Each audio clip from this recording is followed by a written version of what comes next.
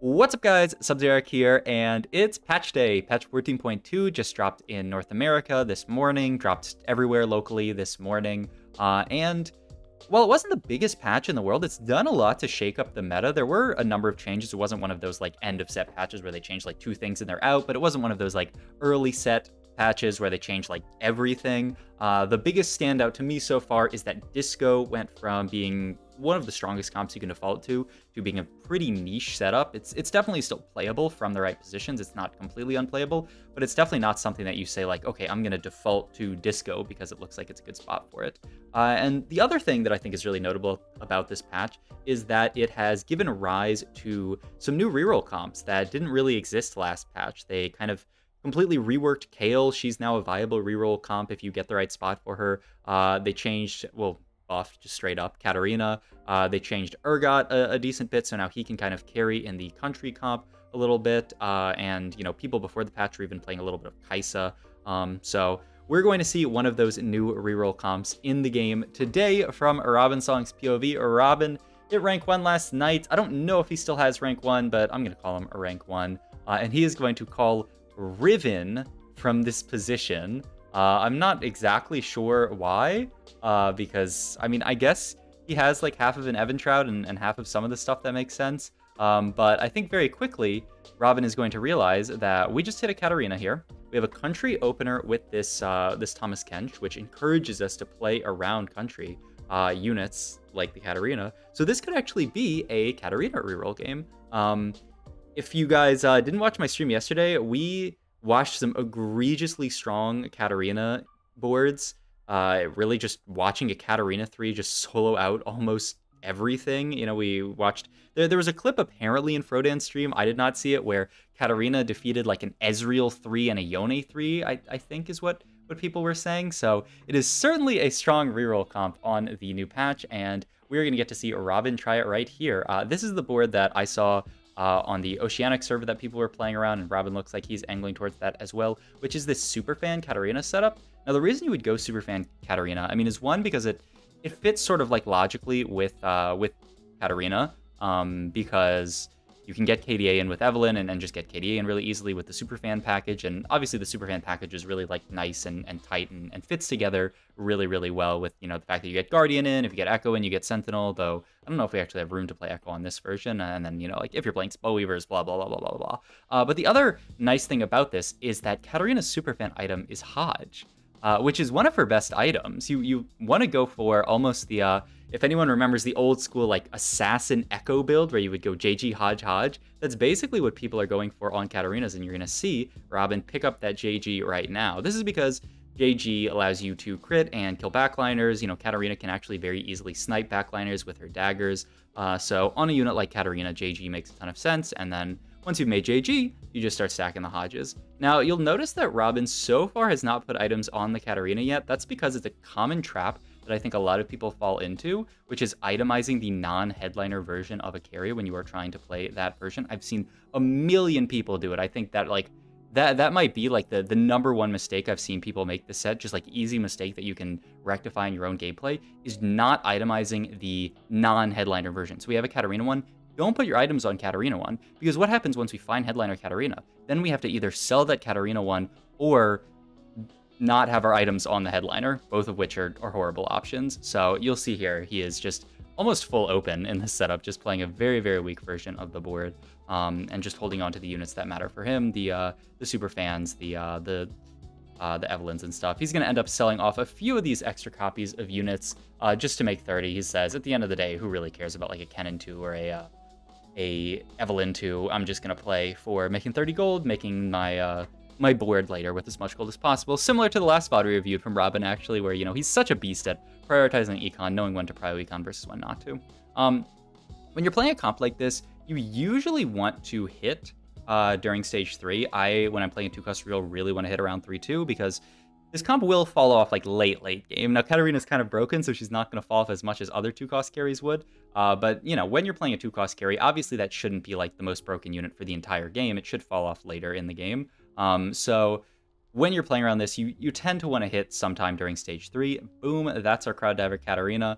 Uh, and we are off to the races now, and uh, and we can start playing this board. And I'm sure, yeah, you'll see a wall of poggos in the chat, and I'm sure all of uh, YouTube uh, comments. I'm already, I already hear people typing. Oh, he just, he just high rolled, he just high rolled Katarina, man. I, like, uh, oh, I don't high roll. Oh yeah, but look, he put himself in a spot to play the comp, and he, I mean, yeah, he high rolled. I mean, I, I, don't know what to tell you. Yeah, I mean, sometimes people high roll, sometimes people low roll. I, I mean, if he went eighth, I wouldn't have odd reviewed the game. So yeah.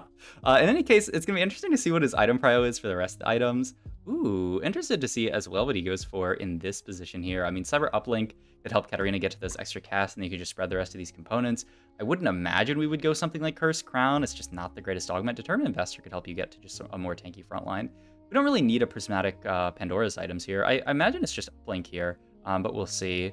I guess the idea with like Freaky Friday would be like you could end up itemizing um, you know, like Yone later, but that's just so, so far away. I, I really like this uplink here. It allows us to make usage of these items, which really aren't too, too useful for us. Like this glove is going to have to, all of these items are to have to end up being either frontline items or items for our other carries. But already you can see, Katarina 2, if you look at that damage chart over there, dealt 8,000 damage with three items. Uh, now, you know, she does have the extra damage from the Idealism and the extra mana gen from the uh, the Prismatic uh, Cybernetic Uplink, um, but still pretty insane. And you're to see here a little bit of what I was talking about.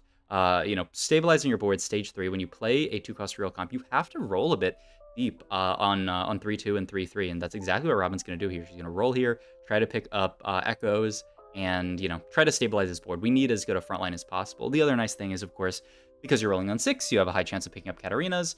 Uh, so it's it's very easy to just pick up a few extra Katarinas and then find the Katarina 3 by the end of the stage. Best case scenario, you're hitting it like really, really early on, but that is that's if you're like a Giga High Roller and you already had like Katarina two or something like that.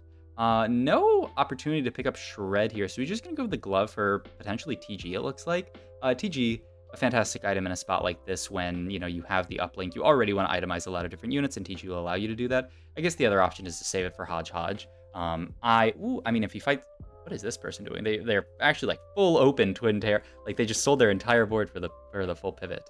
Um, but yeah, you could go TG. Yeah, he is he's just gonna make TG. I was like, there's no way Robin's not gonna make TG. Um, pretty surprising actually though. The level seven here, he knows this is a really really big spike for crowd diver, and he still gets to make 10 gold. Uh, and the other thing is you can still find two star or three star two costs on level seven. The odds only go down five percent. Um, so level seven versus level six, like kind of no diff for your uh for your two costs. But the nice thing is now we can find you know, a higher chance of finding this like Neeko 2, a higher chance, of course, of finding like more Zeds and stuff like that. So yeah. Uh, but yeah, this is essentially the board. Um, you just play around Vertical Crowd Diver and uh, and this uh, the super fan opener. And you know, obviously Crowd Diver version is the best. You could probably take Country version if you have to and, and figure out how to play around that. It, Katarina seems like a unit where she really, really wants the Crowd Diver and she doesn't really want the Country version because it's gonna be uh, kind of hard to fit country in on this board. Um, maybe there's a way to do it. I'm, I'm sure someone's already theorizing some way to play. Or I mean, you know, you could just play like vertical country, but then you lose the benefit of being able to play super fan. But yeah, we have a, a pretty strong board. The only question now is when is this Katarina 3 going to come? Because we have four Katarinas and it's the end of stage three. The nice thing is this comp is so strong that we are stable. We five streaked here, 75 HP. Uh, we do need to find Katarina 3 at some point, or uh, you know, we're not going to be able to cap out too highly. We do pick up one off of the orb here and then another one in shop. So our, uh, yeah, Robin a bit excited there uh, because uh, this game is definitely going his way. He also has the remover there, just gets dropped a full Hodge. So we can drop that onto Zed in this situation.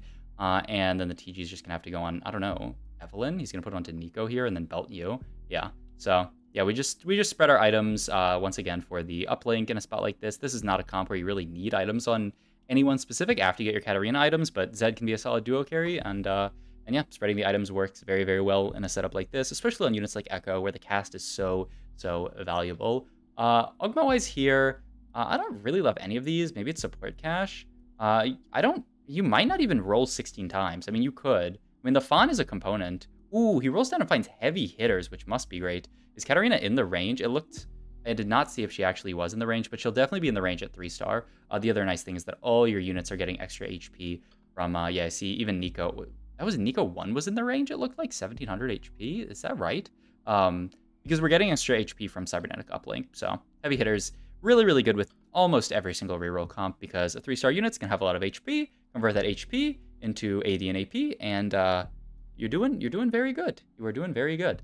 Uh, the max comp cap for this comp is going to end up, of course, being the six crowd diver, just uh, on either level 9 or we could potentially get out of this Ekko, though we'll lose a lot of frontline. Curious to see how Robin plays around it later game. He's actually rolling kind of deep here. I'm, I'm actually surprised that Robin dips so low here to look for upgrades when we're really pretty far off. We're nowhere near Ekko 3. We're pretty far off Katarina 3. Yeah, I'm, I'm a bit surprised by this roll here, actually. I wonder why he rolled like that. I mean, I'm not sure. I mean, obviously you have to buy the Katarina, and yeah, the Yone does not matter too much. And the Evelynn 3, I mean, we already have Evelynn 2. Well, I don't know why we're even holding extra Evelynns.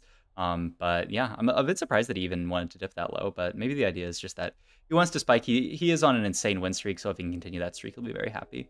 Uh, we can look for Z items here. We could look for frontline items here. Uh, what he's we're not out yet, but we get another tier. Ooh, it's tier and it's Ekko. I like that a lot because I mean another Hodge if we get to something like a Qiyana, would be fantastic. Uh, the other thing is just that, you know, it's another Ekko. We're uh we're two off Ekko three, and Ekko three is gonna be a huge huge tank for this comp. It means that we're never gonna be able to get out of the Ekko. Uh, there is Static Shiv as an idea, and yeah, he's just gonna make it here. I almost forgot about that uh, that bow that's just sitting on our bench, or not on our bench, but on this Kennen who's sitting on the back line. But this board doesn't, of course, the, the board naturally has healing reduction in the way that Katarina has healing reduction, um, but it doesn't have any form of natural shred. Uh, you know, the only way you get that is if you get like a Ziggs in, which is never gonna happen. So building shred is really really nice. Uh, holy, look, I will not say that this game is not a high roll. Uh, I feel like uh, he he just hit an insane number of Katarinas. But what I will say is, is a fun game to see what Katarina reroll can do from a high roll position. Uh, you know, we're, we're fighting another board, which is honestly in a pretty high roll spot as well. Already has Vex 3, already has Karthus 2. Not sure how they hit all this stuff, but yeah, we're going to lose to this board because, I mean, they're just Vex 3 pretty early. Uh, I mean, stage end of stage 4 is definitely like about average, but, you know, Vex 3, Karthus 2, they've, they've hit everything as well. And yeah, we end up losing that fight. Partially because our positioning is so bad versus Vex, right? We're super, super clumped for the Zed. Uh, you know, we, we would need to change the Zed positioning to ever beat that comp, but I think Robin just didn't have the time to uh, to see what their board was doing, so fair enough. Uh, rest of these items, I don't know, this could be something like an Edge of Night onto the Zed and then spread components. Um, it's definitely what I would look for here. Yeah, I like this a lot. And we just chill for a couple of, maybe just for one round actually in level here. Um, it is kind of awkward. Like, what do you put in? Oh, he's uh, he's looking at the he's looking at the stats of the comps actually and, and yapping about how he's probably saying like I'm not even a high roll. They have a more broken comp than me. Which like I mean fair, but look at this Katarina damage by the way. Cast boom boom boom boom, 9.2k damage in an instant. Really, it feels like it took no time at all for her to do that much damage. Um, I assume we're gonna level here just because it's pretty cheap to level in a spell like this, and you just play a second Ekko. Um, or how, is, is he looking at rolling here? Yeah, I, I wouldn't really want to roll in a, a, spot like this, but yeah, you just play double Ekko for now. Uh, the question is, do you go fast 9 or do you look for this Ekko 3? Because uh, 9 is what really spikes you, right, with that 6 Crowd Diver, but Ekko 3 is also a pretty big spike. Uh, I assume he'll just econ up and then make the decision. If he naturals one more Ekko, then that the decision is really easy, right? You just roll for Ekko 3. If you don't natural any Ekkos, then the decision becomes a little bit harder and you actually have to think for yourself. I really want him to take this Evelynn out of the the team builder, like I have started like finally enlightened myself and I, am like taking the units out of the team builder as I hit them and it just like cleans my brain up a little bit. But he's got all these Eves still in the team builder, so it keeps highlighting them. It's really tilting me.